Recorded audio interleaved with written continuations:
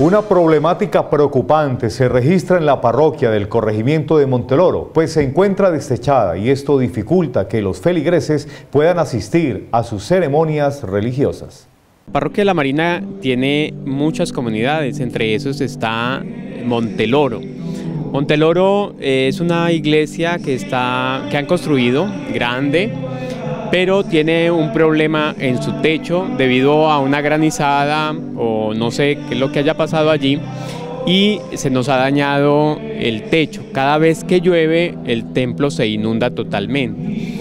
Igual es, una eh, estructura muy grande y pues hay que tratar de hacer algunas adecuaciones de tal manera que tenga eh, el estilo de la iglesia católica allí en este corregimiento porque pues es la presencia también de la iglesia en, eso, en esas zonas tan difíciles que, que se ha tenido.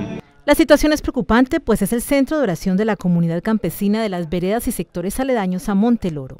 Bueno, allí ha habido la presencia también de otros grupos, ¿sí? Esto hace que a veces sea un poco más difícil, sin embargo hoy en día tenemos muchos jóvenes que se están preparando a primera comunión y confirmación, de hecho eso es una de las actividades próximas a realizarse allí y por eso también queremos tener el templo digno.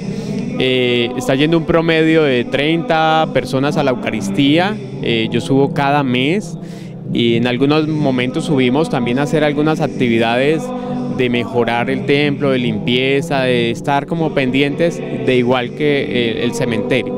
Las necesidades de la parroquia son muchas y de carácter urgente. En este momento necesitamos tejas a hover, que son las tejas que se dañaron eh, debido a lo que digo, una granizada o, puede que haya personas que eh, las hayan dañado. Y esto hace que sea una urgencia para que no se nos siga inundando más la, la iglesia. Quienes deseen colaborar con el párroco pueden contactarlo directamente en la Iglesia de la Marina o al número 226-0364. La idea es que podamos tener una iglesia digna, católica, allí donde podamos tener pues todos los actos litúrgicos. Próximamente, como digo, el obispo estará acompañándonos allí.